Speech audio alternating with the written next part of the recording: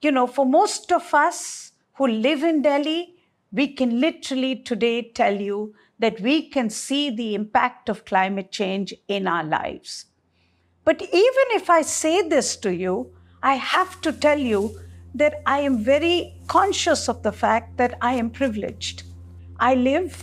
in rooms which are cooled because of appliances that I use, electricity that is available for most of us. And remember, most of this electricity, and I'm very aware of this, and we should all be, that this electricity that we use, that we consume to cool our houses, then further adds to the um, to the greenhouse gas emissions because most of the electricity that we consume it comes from coal based power plants and across the world in fact not just in india across the world it is fossil fuels that is driving the electricity